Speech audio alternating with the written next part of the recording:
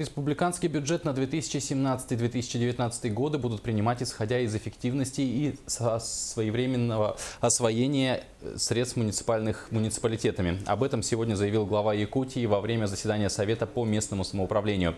Однако главными темами обсуждения стал не бюджет, а эффективность переданных муниципальным образованием отдельных государственных полномочий в сфере сельского хозяйства и выполнение плана ввода индивидуального жилья.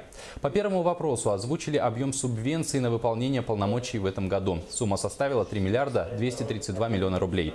Огласили и рейтинг районов и городов по количеству выполненных заданий за 2012-2015 годы. Лидируют Сунтарский, Усьмайский, Нижнеколымский, Тампонский и Кобяйский районы. Положительная динамика наблюдается в строительстве индивидуального жилья. Темп роста ИЖС в соответствующем периоду прошлого года составил 131%. Причем 12 муниципальных образований опережают планы графики ввода в эксплуатацию.